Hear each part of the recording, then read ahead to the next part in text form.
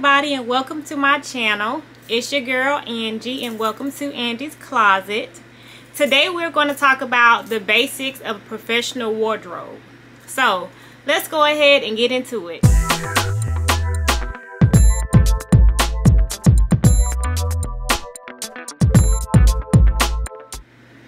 So before we start talking about the pieces, I want to say it's very important um, that it's about the quality, not the quantity of what you have. I know in the past, especially when I was a little bit younger, I used to just buy all kinds of things just because it was on sale. And not saying that I'm totally free of that now, but I make more conscious decisions when I purchase. Also, too, just making sure that before you start buying new things to add to your wardrobe, make sure that you're saving. You know, that's some things that I, in the past, I didn't do. And I would just shop and buy things and not really pay as much attention as putting a budget on what I should be purchasing and putting putting money aside. So make sure before you go on a shopping spree or you update your wardrobe that you're putting money to the side and then create a monthly shopping budget. So the pieces that I'm going to talk about today, I'm not going to recommend that you just go and buy everything right now. But these are things are things you can build towards. But set a budget for yourself, no matter, depending on where your financial situation is. So, you know, if, if for you right now, $50 a month is all you can afford, then that's what you're going to spend your money on. $50 all you can afford for clothes and just set that aside and don't go above that. If your budget is $500 a month for clothes or 5000 then make that your budget. But make sure you work within your budget and that you're also saving when you're shopping. Now I will I did want to say that all the clothes in this video are from Express. Express um, does not pay me, does not sponsor me, but it's been one of my favorite stores since for years and years. I know my size there, I'm very comfortable with it, and I love the fit of their clothes. However, these are just examples. You can buy these pieces anywhere. So wherever your favorite store is, just find these pieces at your favorite store or whatever is within your budget. So, I mean, most of the pieces I'm going to show you, you can find at any price range of store. It's just about looking for a, a nice piece um, within that store. Uh, you can find something anywhere uh, from your Burlingtons to your Walmarts, you know, Banana Republic. Um, I mean, Michael Kors. So wherever you shop, shop there. Um, but today, in my pieces, they are mostly they are all express because that's 95% of my clothes come from express because that's just one of my favorite stores I, am a creature of habit and that's where I shop. Okay so closet essential number one a blazer. A black blazer. We're going to start off with a black blazer and one that's tailored. So I'm going to give you an example. This is a nice black blazer and it's tailored because you see that waist goes inside. You're going to want a nice basic black blazer you can pair this with anything pants a dress a skirt and it's something that you can wear weekly multiple times during the week okay you want to make sure that it's not boxy something that that that goes in and most you know, most places where you find a blazer, you can find them that go in. You just don't want one that's like super square because it's not going to give you a waistline. But this is going to give you a waistline. Um, a nice one button blazer is great as well. Now, when I say start off with a black blazer, I mean a classic blazer like this. So, what I would not buy um, for my first black blazer would be like a crop blazer or a short blazer like this. So, this is more of a crop style. Um, it does have a waist, but it's kind of short. So this is going to stop right at the waist. The one, the, the first one I showed you is going to stop a little. It's, it's a perfect fit. It's the perfect everyday foot blazer that you see. But this one here is kind of um, more of a crop version. I'm not sure if you can see that. So this is not one I would start off with. Maybe I would add to my closet later on if I had more blazers. But I wouldn't start off with this one. I also would not start off with a boyfriend blazer. So if I did not have any black blazers in my closet, I would not buy a boyfriend blazer first. Now, it's great to have one if you already have a black blazer. Um, but these can be kind of um, a little bit more bigger, not tailored fit.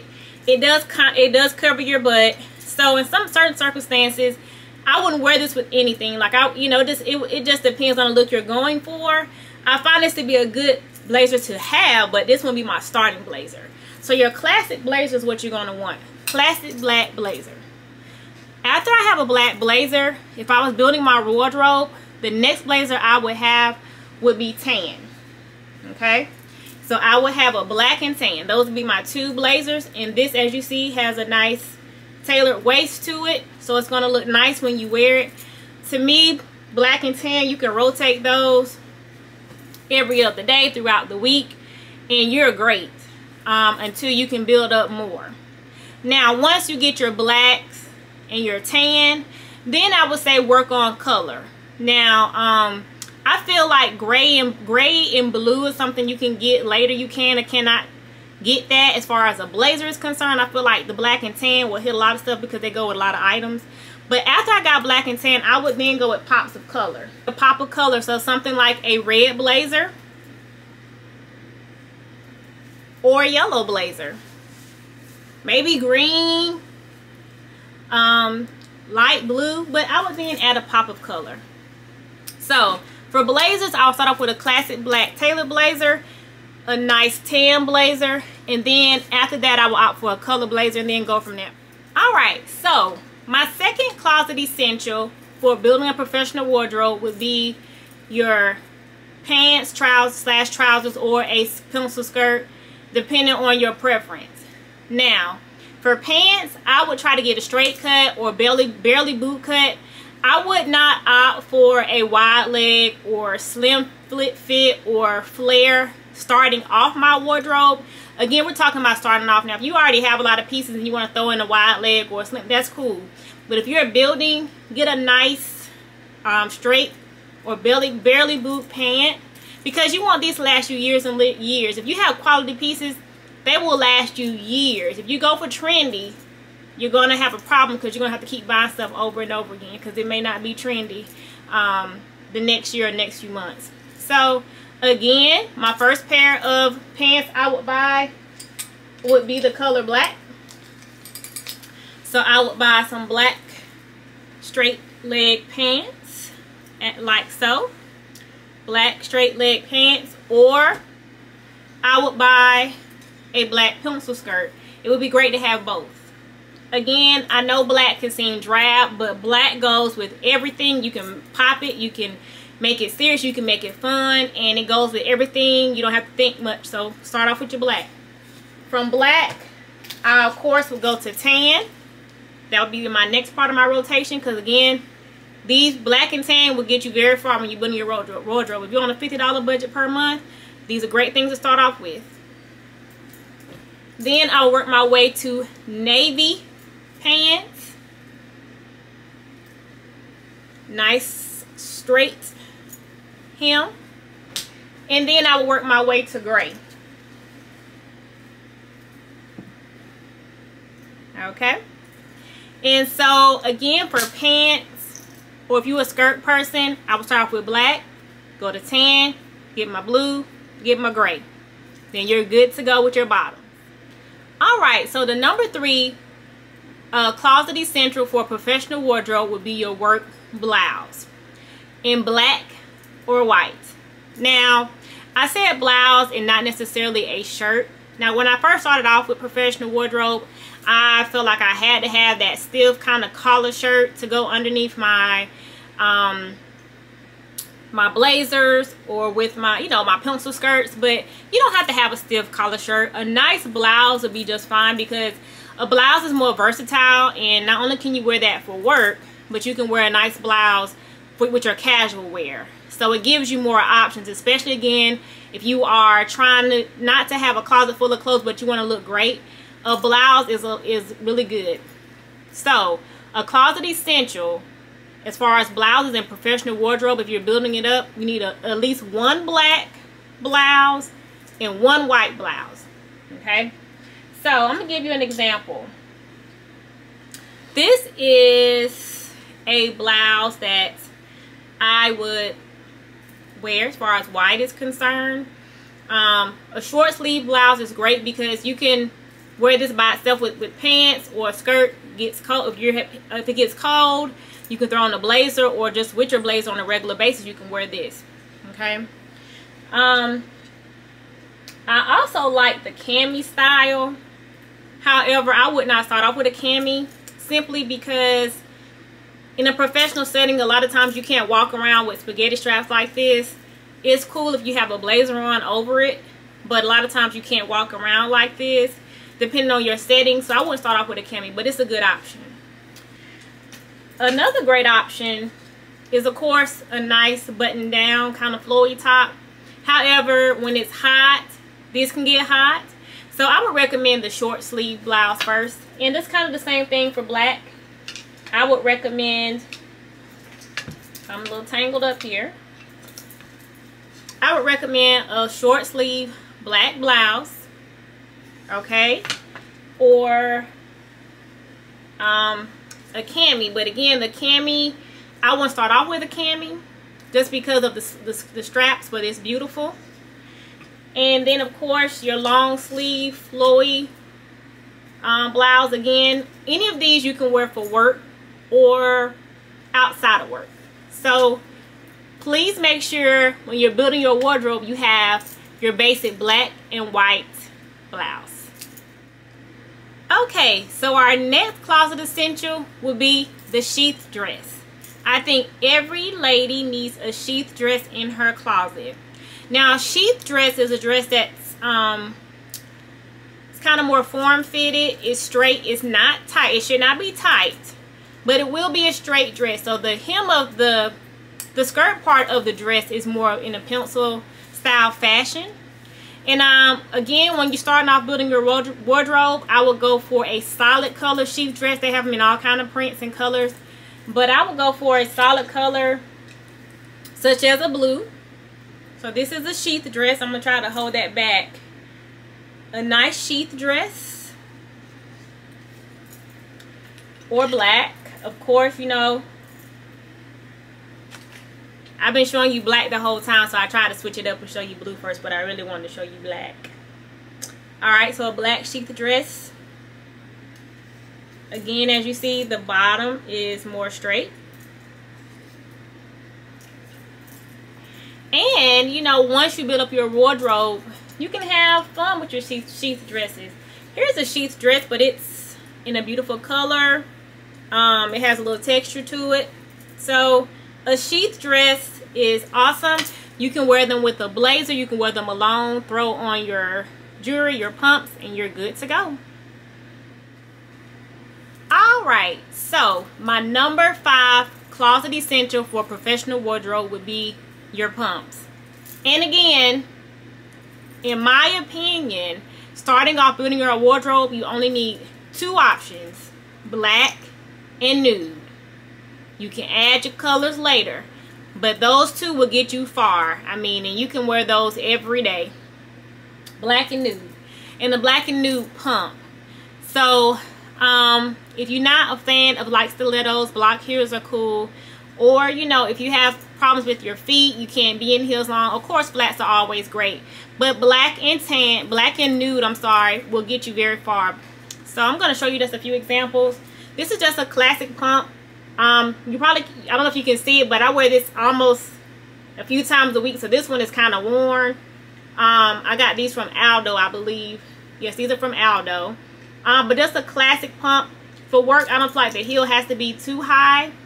Um, this is also an example of a good looking work pump. For me, the heel is not too high. For some, this heel will be outrageous. But it's it's not even quite four inches, probably like 3.25, three and a half. Um, but then there are some days where I opt for a low black um, block heel and it works out just fine for me. So black, of course, a black pump will go with any of those pants, skirts, dresses that I just showed you, blouses, and then um, some beautiful nude color shoes. And nude depends on your skin tone. Some I'm a dark skin girl. Sometimes I, I do have a chocolate pair, but sometimes that's not easy to find. But if you can get a nice tan color, that'll, that'll work just fine. So a nice nude, again, a block heel works fine too. And sometimes, you know, it's nothing wrong with showing a little toe. You know? So, Closet Essential is your pumps. Okay, so my next professional wardrobe closet essential would be jewelry. You have to top your outfit off with jewelry. And keep it classy when you are, and simple, when you are building your um, professional wardrobe again. As you start to get more pieces, then of course get your statement necklaces and things like that. But if you, again, we just want to keep it to the you know minimum. We want to build our closet keep it classy. Just have some basic classy classic pieces. I recommend having a silver piece at least one silver piece one gold piece and maybe pearls. So I have this on right now. This is like one of my go-to um, everyday necklaces. I've been wearing this for years. It's something I can just throw on. It's it's silver goes with most things I like little small little studs for work. I wouldn't, you know, nothing too big, no hoops or anything for the office. Um, but just something nice and classy. And then here I have a simple pearl um, necklace. I don't know if you can see it well. Okay. And then I also have um, a nice little simple gold necklace. You see? Okay, so I have um, both gold and pearl and then I have this silver one on right here. And so that's basically all you need. So remember jewelry too is a closet essential for building your professional wardrobe. All right so the seventh and last piece I am going to talk about when building your um, professional wardrobe closet essentials I'm going to circle back around to blouses again and tops and now it's time to add a couple of um, color or prints to your top. Now, of course, you have to, you need black and white to start off with because they're going to go with so many things in your closet. But you got to have some pops of color. You can't walk around drab. And that's where your fun is going to come from, from your tops. You know, starting off, get you a good three to five tops. Between that, rotate those with those black and white tops. And you have something to wear if you're living the minimalist lifestyle, which I would love to live, you know, I haven't made it that far, you know, you don't need a whole lot of clothes. You just need the right pieces. So when you are um, adding into, you know, some color prints to your blouse, just, you know, get some things like some florals, something floral. Um, polka dots. We love polka dots. I love a good polka dot. I love, that's a good solid color. I mean, this could go with black, this could go with tan, this could go with gray, could go with, with blue. So, I mean, a good solid color. Again, something like this, something floral. This could go with so many outfits.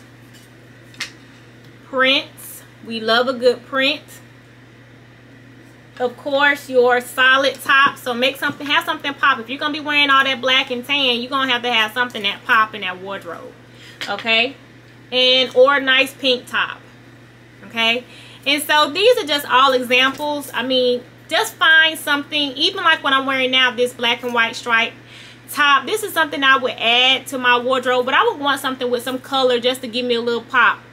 If you have these uh floral color pops in your closet, it's going to really make your professional outfit just um, look even better. So uh, this is the last piece, which, which again is your colored blouses and or tops. These are a few looks of outfits created with basic professional wardrobe pieces. I hope you enjoyed today's detailed video. Please remember to like this video and to subscribe to my channel. Thank you for visiting my channel, and I will see you next time.